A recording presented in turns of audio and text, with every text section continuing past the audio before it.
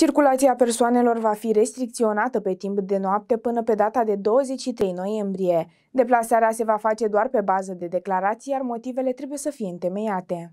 Noile reguli au fost aplicate în România pe baza numărului crescut de cazuri de COVID-19. Printre acestea se numără și restricționarea deplasării pe timpul nopții mai exact între orele 23.05 dimineața, bineînțeles cu mici excepții. Deplasarea în intervalul orar 23.5 se face numai din motive justificate, cum ar fi deplasare în interes profesional, deplasare pentru asistență medicală care nu poate fi efectuată de la distanță sau care nu suportă amânare, deplasare pentru achiziționarea de medicamente, pentru însoțire, îngrijire, copil, persoană vârstică, bolnavă sau persoană cu dizabilități, în situația în care persoanele se află în tranzit și programul orar se suprapune cu perioada de restricție sau în situația în care a intervenit decesul unui membru al familiei. Pentru verificarea motivului deplasării, persoanele trebuie să aibă asupra lor completată în prealabil declarație pe proprie răspundere sau adeverință de la angajator ori legitimație de serviciu. Cetățenii care se vor deplasa pe străzi după ora 23 trebuie să aibă asupra lor declarație pe propria răspundere sau adeverință de la angajator. Pentru verificarea motivului deplasării în interes personal, persoanele sunt obligate să prezinte la cererea personalului autorităților abilitate o declarație pe propria răspundere completată în prealabil. Aceasta trebuie să cuprindă numele și prenumele, data nașterii, adresa locuinței, motivul deplasării, data completării și semnătura.